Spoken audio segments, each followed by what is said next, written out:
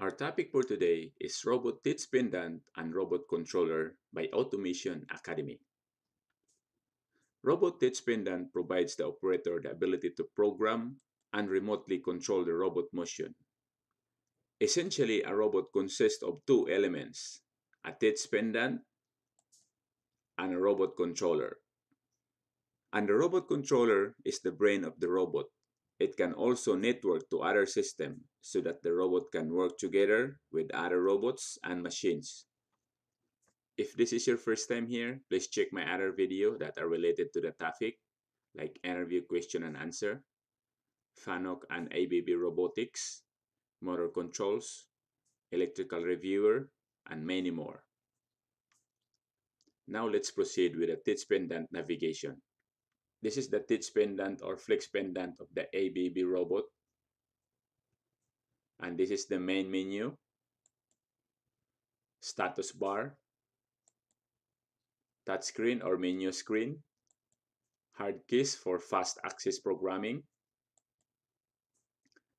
e-stop, three-way joystick, hard keys for running program, example, play, stop, move forward, and move backward, and running application. You can only run up to six applications. After that, you cannot open anymore.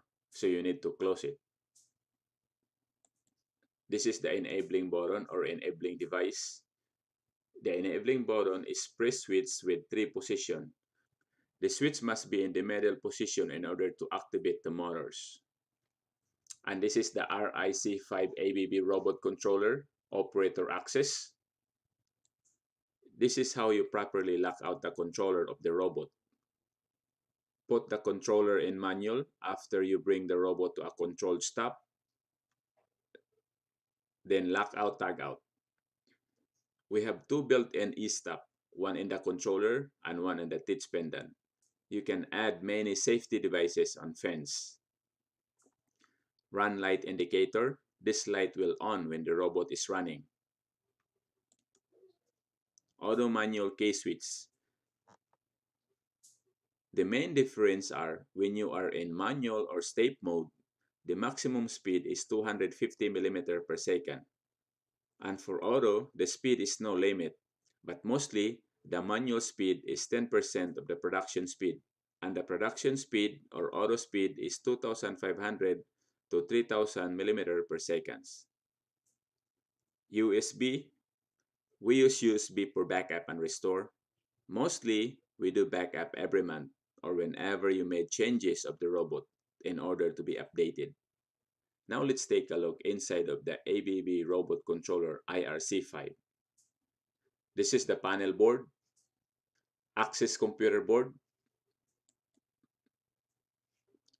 drive servo system, input-output board, customer connection, contactor interface board, drive system power board, contactor, circuit breaker, backup power bank. On my next video, I'm going to discuss a separate discussion for robot controller. And don't forget to leave your comment below if you have any questions about this topic. And don't forget to subscribe. And now let's take a look every page or application of the Teach Pendant. If we are going to click the main menu, you can access the hot edit, inputs and outputs, jogging menu, production window, program editor, program data, backup and restore, calibration, control panel, event log, flex pendant explorer, system information, log of default user, and restart.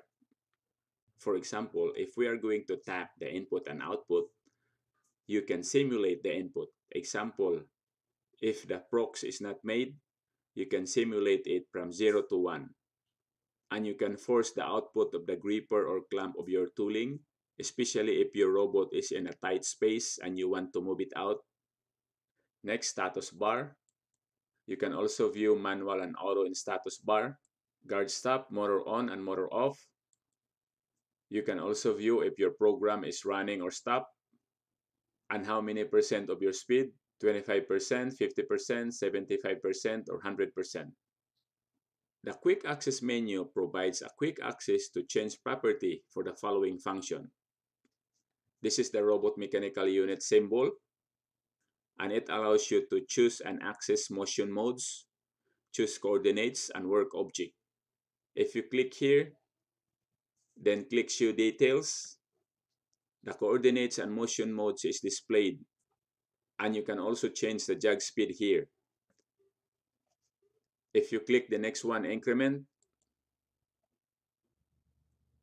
you can jog the robot in small steps which enable precise positioning, especially when you crash the robot and cause joint collisions. If you click none, the jog speed is normal, 250 mm per second. Next, if you tap run mode, it will bring you here, single cycle and continuous cycle.